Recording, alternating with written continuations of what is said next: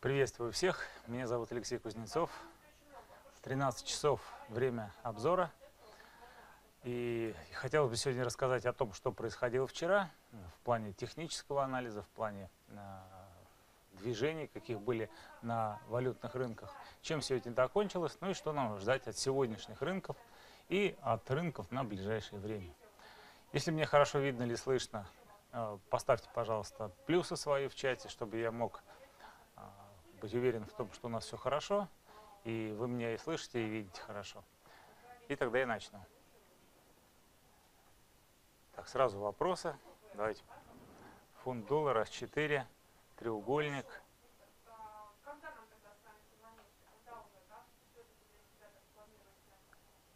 Куда смотреть? Сейчас дойдем до фунта, Владислав. Конечно же, сейчас дойдем. Тогда я переключаю на рабочий стол.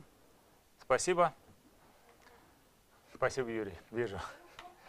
А, ну что ж, давайте тогда смотреть за тем, что происходит. Вначале по евро-франку. Напомню о том, что зона консолидации полностью отработала, которая была до этого. Я ее убираю. Цель достигнута и даже достигнута с определенным э, запасом. Сейчас на часовом графике очень отчетливо видна трендовая восходящая линия, что говорит о том, что есть устойчивая восходящая тенденция и э, пока на данный момент э, еще она не завершилась. Э, вместе с тем мы видим, что есть дивергенции по восходящему движению цены.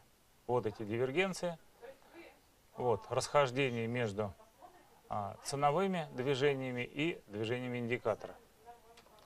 Вот. Это говорит о том, что текущее движение возможно затухает, но это будет понятно тогда, когда будет пробита вот эта линия поддержки.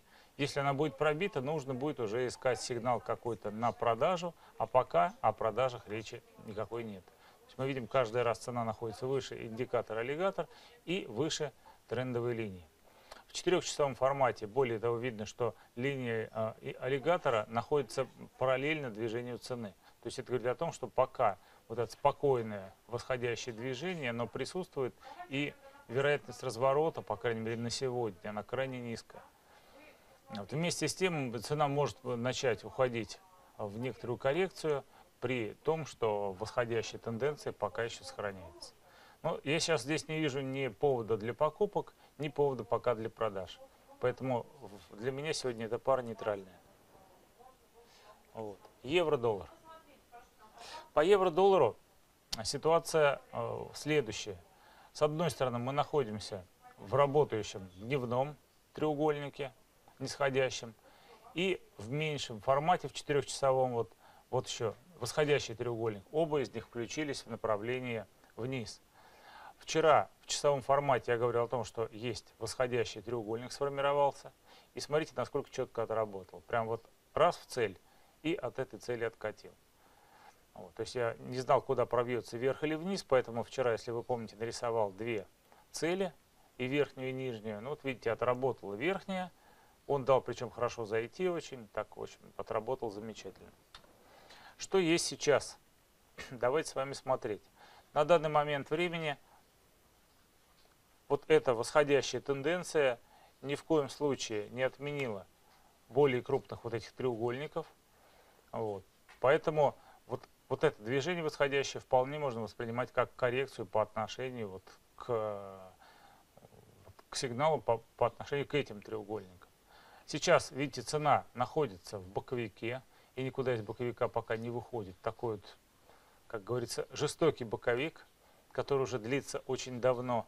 Никак цена не может выйти аж а, с 7 января в этом боковике находится. И вот, как видите, пока еще до сих пор, несмотря на все попытки а, нисходящего движения, этот боковик еще продолжается. То есть, видите, опять же, верхняя граница боковика снова, смотрите, достигнута. И цена от нее снова откатывает принципе, можно даже вот эту вот границу продлить дальше сюда, для того, чтобы было понятно, что вот он боковик, вот она зона консолидации, и пока еще мы находимся в ней. То есть здесь тоже на данный момент сигналов никаких нет. Есть может быть какая-то коррекция, потом движение вниз с пробитием, но я думаю, что вряд ли это случится сегодня. Поэтому данная пара на сегодня для меня тоже является нейтральной. Доллар, швейцарский франк.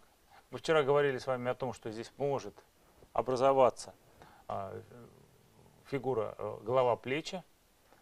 Вот. Но я говорил о том, что, во-первых, вот это плечо сдвоенное, но это на самом деле ничего страшного. А вот это вот сдвоенное, это всегда очень нехорошо для такой фигуры. И вот видите, она только пробилась и сразу же ушла. Вот, э, вот когда правое плечо сдвоенное, вот такое вот, отчетливо сдвоенное, такое размазанное, непонятно от чего это такое, вот всегда существует вот такая вот опасность а, обратных движений. Вот. Что есть сейчас? Давайте смотреть, что происходит в данной паре. То есть цена пытается устремиться к уровню сопротивления 1.0326. И у нее, у нее сейчас уровень э, поддержки 1.0140. И вот между этими уровнями цена сейчас, по сути дела, пляшет. То есть пробила уровень 1.0140 и устремилась к верхнему значению. Но вот это устремление к верхнему значению, оно, смотрите, тоже как проходит. Сейчас я нарисую линию поддержки. То есть вот смотрите, линия поддержки. Она такая не совсем явная здесь эта линия. Потому что здесь не коснулся, вот если брать по этому, но это не абсолютный минимум, ведь это промежуточное значение. Если взять по минимуму, то это промежуточное значение, оно как пробило, ведь почти пробило, да? Ну, вот, поэтому правильно все-таки вот так вот будет линию построить, вот. Потому что, видите, вот одна точка только вылезает, и то буквально вылезает совсем немного, просто по времени вылезает, а не по цене. Есть восходящая тенденция пока в данной паре, и пока тоже ничто не говорит о том, что она может нарушиться. Поэтому я думаю, в данной паре пока тоже надо э, ждать либо будет разворот, либо будет а, пробитие текущей вершины и движение к уровню 1.0326. Что здесь есть еще? В дневном формате после мощного нисходящего движения вот это вот все движение можно воспринимать как пока, как коррекционное. Оно достигло э, уровня Фибоначчи 764. Мы видим, что в целом, видите, цена находится в в боковике, в стагнации. А сегодняшняя, по сути, дневная попытка выйти из этой зоны вверх просто лишь достигла уровня Фибоначчи, так отчетливо уже достигла. Но как свеча сегодняшняя закроется, неизвестно еще. Поэтому не факт, что эта зона будет пробита вверх, и тогда как бы, может быть разворот в данной паре. Но если все-таки сегодняшняя свеча закроется выше предыдущего максимума, то есть максимума от 26 января, значит тогда возможно продолжение восходящего движения, и скорее всего оно будет до уровня 1.0326. Если сегодняшняя цена, а, свеча вернее, закроется ниже вот этих максимумов, значит есть вероятность продолжения нисходящего движения. Здесь тоже наблюдение, и я к данной паре сегодня тоже отношусь нейтрально. Британский фунт. А, ситуация здесь очень интересная, потому что, вот смотрите, в крупном дневном формате у нас было очень сильное движение, которое в четырехчасовом формате можно рассмотреть в качестве нисходящего тренда с отчетливой, смотрите, линией а, и там многократные касания. Данная линия сопротивления была пробита, образовался, смотрите, треугольник четырехчасовой. Вот. И этот четырехчасовой треугольник вчера еще пробился вверх, и сегодня как бы еще более отчетливо он вверх пробился. Значит, можно сказать, что 250 пунктов вверх цена пройти вполне, вполне здесь может, а, опираясь вот на данный сигнал. Вот. Это значение, сейчас я его обозначу, 1.46. Вот до 1.46 цена может пройти. Но учитывая в часовом формате, как происходило это пробитие, я бы все-таки э, сказал, что более уверенно можно в данную ситуацию, в данную позицию войти только после пробития в часовом формате уровня 1.44. Потому что если этот уровень будет преодолен, значит вот эта вершина будет преодолена, и мы начинаем двигаться вверх. А пока, видите, произошла довольно-таки сильная коррекция, то есть дважды попытались то есть, с одной стороны, смотрите, вышли из треугольника, и сигнал получен. С другой стороны, опять зашли в зону стагнации. Это не говорит совсем о том, что цена не придет сюда или там развернется. Но некоторая опасность при этом существует. Поэтому более надежным будет все-таки вход, я считаю, только ну, на данный момент, для тех, кто пока еще никуда не вошел, от уровня 1.44. А знаете меня, что еще здесь смущает? То, что вот этот вчерашний был выход прямо уже под самый вечер, ну это, в общем-то, нормально. А вот сегодняшний выход был даже более уверенный. Прямо ночью. Почему-то по фунту доллару все это ночью. И смотрите, 9-часовая утренняя свеча была нисходящей.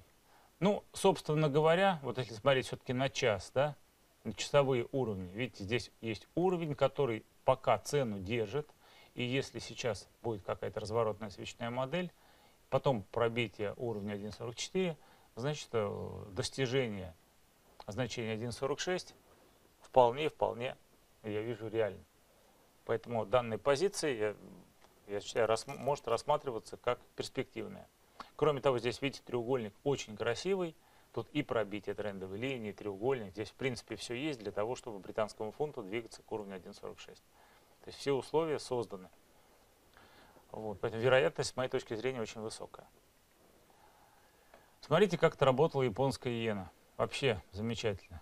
Дневной треугольник. Я его показывал вам несколько дней, что он есть. Он пробился, смотрите, потом откатил, образовал нисходящий канал. Канал вверх пробился. Целый день цена стояла. А сегодня почему-то ночью полностью выработала цель. Более того, с таким, видите, аж с мощным таким вот броском вверх. С чем связан бросок, честно, не знаю. Но вот как-то ночью сегодня прям был выстрел. Ну, как бы там ни было, с чем бы он ни был связан, это произошло, и цель 119.54, как видите, достигнута была полностью. Я убираю, чтобы на графиках это все дело не мешало. Вот, что есть сейчас. Давайте смотреть, что есть сейчас. А сейчас, я думаю, пока нет ничего в данной паре, кроме э, того, что нет ничего, кроме того, что, смотрите, есть уровень поддержки 116 или 116.07. Довольно-таки сильный уровень поддержки, потому что он и здесь обозначался, и здесь, и здесь цена от него оттолкнулась. Вот. С другой стороны у нас есть линия сопротивления. Вот эта линия сопротивления тоже весьма отчетливая. Сейчас я ее поточнее отрисую. Вот отчетливые линии сопротивления. Вот, и пока цена находится внутри, по, между линией сопротивления и уровнем поддержки, это не треугольник, но тем не менее. Но тем не менее.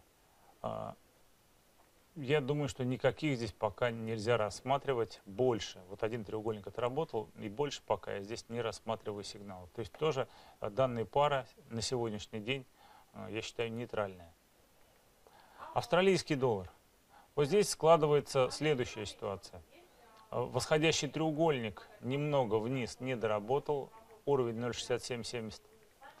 А, начал корректироваться вверх я показывал, что здесь есть зона консолидации и целевая зона а, вот этой коррекции. Они, она, видите, вчера была достигнута полностью и отработала, как видите, вот эта зона. И сейчас, а, возможно, вот, так сказать, вот это вот движение коррекционное, оно, скорее всего, коррекционное еще и почему? Потому что, видите, вот такие большие волны, и вот она уже дивергенция. Возможно, это просто зигзаг коррекционный. И сейчас надо ждать сигнал, на открытие позиции, надо смотреть по динамике, на открытие позиции вниз. Надо смотреть, как цена будет перестраиваться. Если она перестроится каналом или фигурой, то такой сигнал будет, я думаю, что очень неплохим для движения данной пары вниз. Единственное, только смотрите, вот линия э, тренда. Первое, что должно, должна быть, это линия тренда пробита, потом должно быть перестроение. И от этого перестроения можно будет уже попытаться зайти на продажи в данной паре.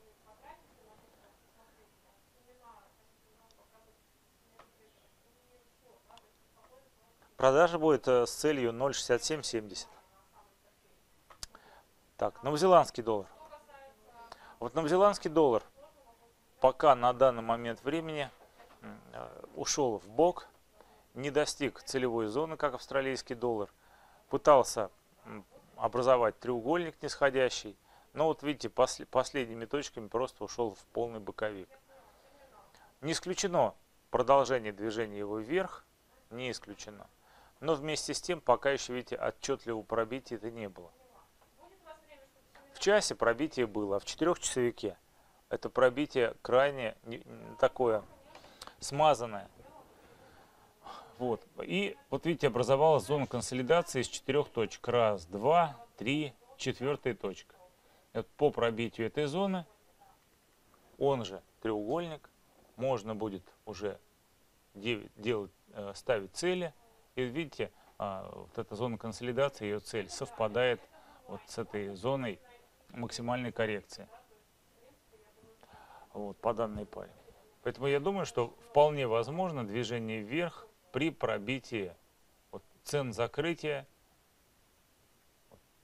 текущей свечи и предыдущей свечи. Вот. Пробитие этой зоны а, даст нам сигнал на покупку. Вот так вот. Больше пока я ничего по новозеландскому доллару сегодня сказать не могу, потому что здесь, смотрите, и треугольник-то такой вот достаточно смазанный. Недельный треугольник смазанный, но тем не менее цена вышла вниз и э, вероятность какой-то коррекции присутствует, а потом, скорее всего, опять движение будет вниз. Доллар, канадский доллар. Надо с месяцев начинать. В месячном формате был достигнут уровень коррекции Фибоначчи 76.4. И, кроме того, минимум многих, так сказать, ну, как бы давнишний минимум 2000 года.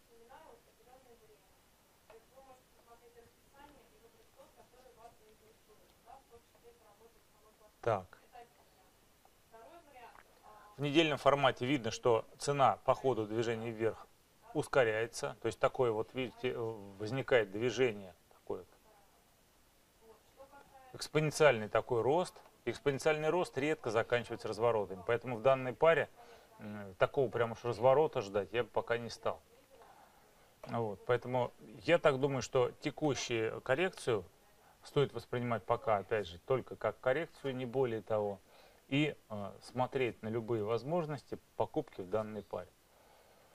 А, сигнал, вчера, вернее, ситуацию разобрали как треугольник, попытались как треугольник ее разобрать, вот, четырехчасового формата.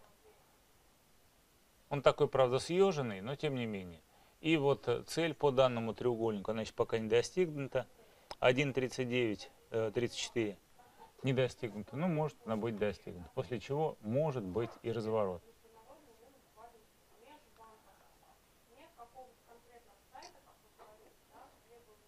Данное движение пока тоже напоминает коррекционный зигзаг.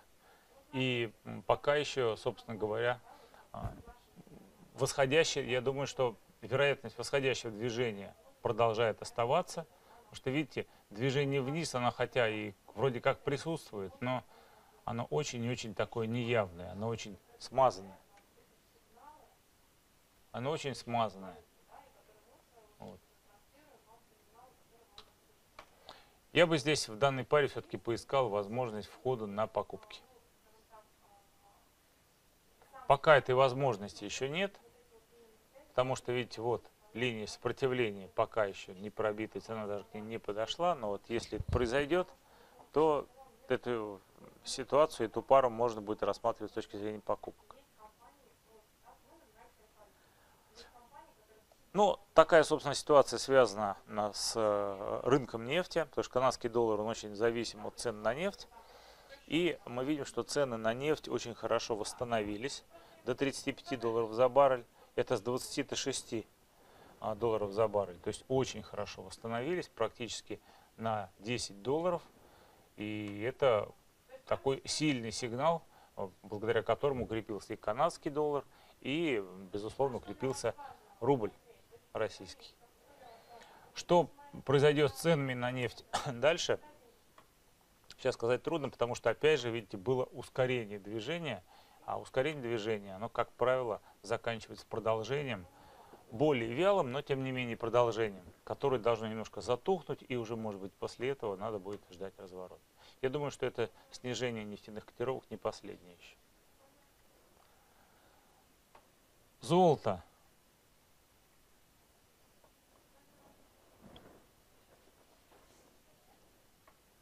Так, золото пробило уровень сопротивления. Вот. Но тоже, видите, такая тенденция достаточно в, в это, вверх вяленькая. Тенденция вяленькая. И пока не достигнута еще, видите, линии сопротивления. То есть сейчас пока, я думаю, по золоту даже прогнозов делать не буду, что оно может делать. Потому что здесь пока еще непонятно. Единственное, смотрите, в часовом формате, все, что я вижу, я вижу линию сопротивления по данному движению. И эта линия сопротивления пока еще не преодолена вверх.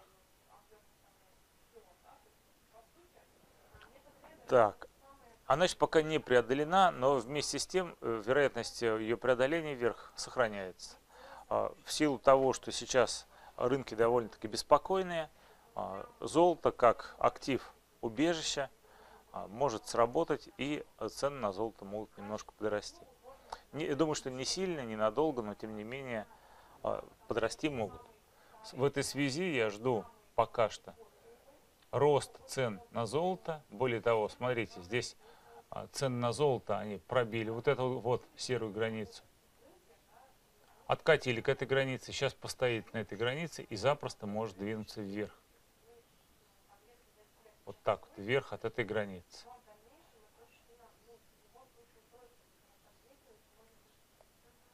Вот граница, она вот, пожалуйста. Вот пробитая э, зона сопротивления пробой, возврат и может быть отскок. Так. Ну и, соответственно, в, в связи с ситуацией с нефтью, а, рубль тоже за последнее время прям очень активно укрепился. Укрепился с 85 рублей до 75 рублей за американский доллар, то есть на 10 рублей. И это очень, опять же, это очень серьезно, это большое изменение.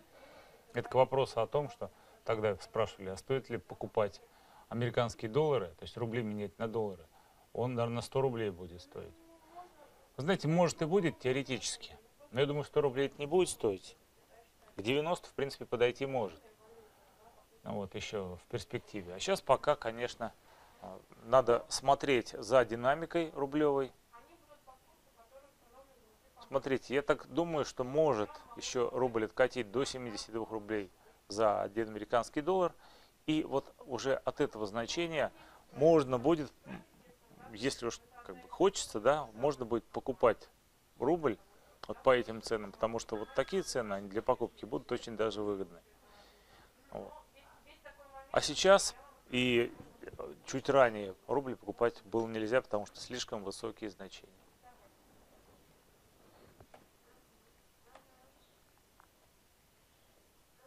Ну и евро-рубль, похожая ситуация, тоже, смотрите, достигнута зона, зона поддержки.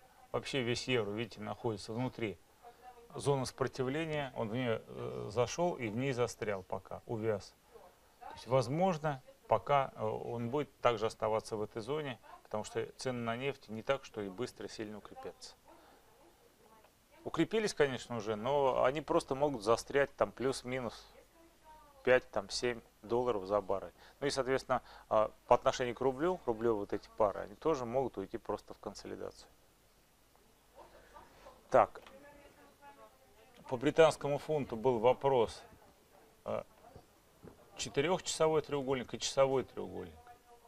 Вот где только часовой треугольник, я пытаюсь понять. Здесь часового треугольника я не вижу. Вот меня спрашивали в начале, что волна, вернее, часовой треугольник – Часового треугольника я тут не вижу по фунту.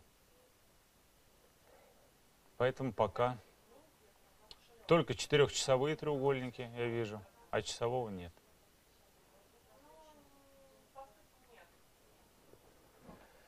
Что здесь происходит в мелком формате? Вот видите, пока коррекция еще не заканчивается, никак не успокаивается.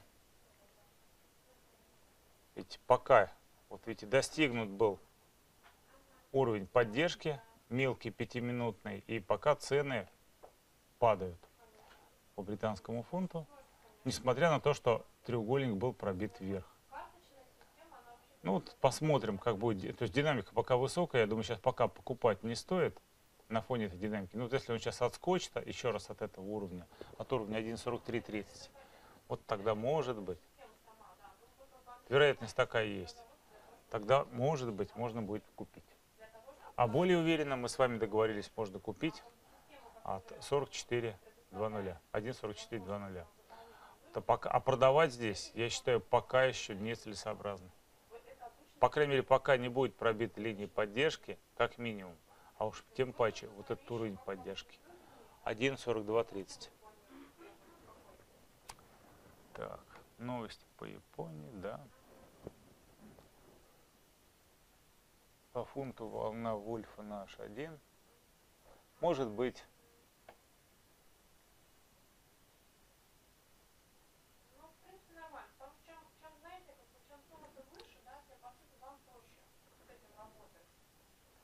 Так.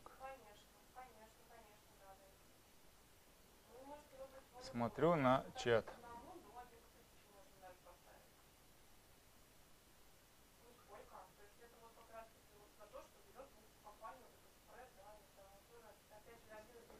Так, Александр просит показать гэп от 25 числа по доллару рублю. Давайте.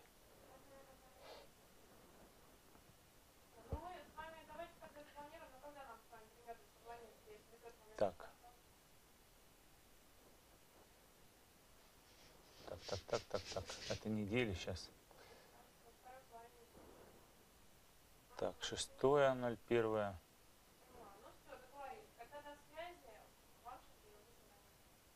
А вот этот гэп. А при чем тут гэп? Собственно говоря, пытаюсь понять, куда должна цена. До куда? Цена, она не должна его перекрывать, на самом деле, ни докуда. Ну, вот. Тут одни гэпы, гэп на гэп, здесь гэп, здесь гэп, здесь обратный гэп, снова гэп. Здесь гэпы ничего не значит на рубле.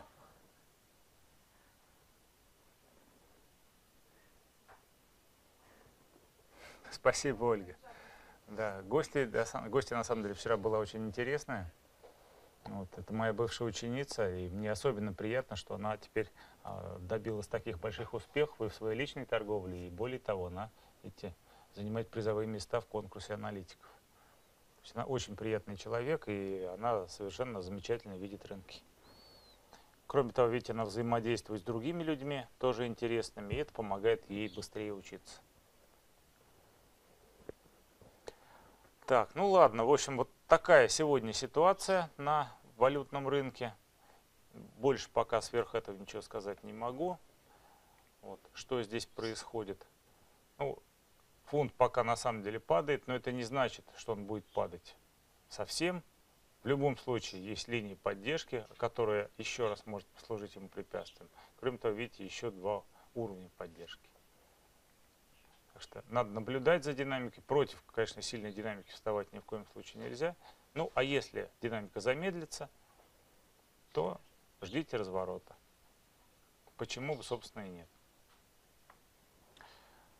Так, так, так, так. Ну, пожалуй, наверное, все. Ну что ж, я думаю, что сегодняшний обзор подошел к концу. Я его выложу скоро на, на канале YouTube. Кстати, вчерашний клубный день, он со вчерашнего дня уже находится на канале YouTube а, в плейлистах в разделе «Клубные дни». Вот, так что можете посмотреть, те, кто не смог вчера присутствовать. Ну и я прощаюсь с вами э, до вечера, с теми, кто э, будет смотреть базовые занятия, пятые, вернее, базовый курс, пятое занятие. Сегодня вечером мы поговорим о мани-менеджменте, о психологии торговли, то есть о всем том, что а, одним людям позволяет зарабатывать, а других постоянно тормозит. А, вот. Как вот преодолеть вот эту границу, как справиться с так называемыми с психологическими барьерами, а, что нужно для правильных расчетов и для того, чтобы никогда не терять свой депозит. Это очень-очень важно для каждого человека. То есть это будет сегодня все в рамках базового курса, пятое его, пятое его занятие, сегодня вечером. Ну и напоминаю о том, что для тех, кто хочет создать свою торговую систему, в понедельник будет э, интересное занятие по созданию торговых систем из ваших торговых наблюдений каких-то. Ну а вторник и среда будет, будет два мастер-класса, посвященные моим технологиям торговли. Так что приглашаю всех, а, всех тех, кто еще не смотрел и не знаком с моими методиками. С вами был Алексей Кузнецов. Спасибо вам за участие в семинаре. Хороших вам профитов. Ну и хорошего, естественно, настроения и удачных выходных. Пока.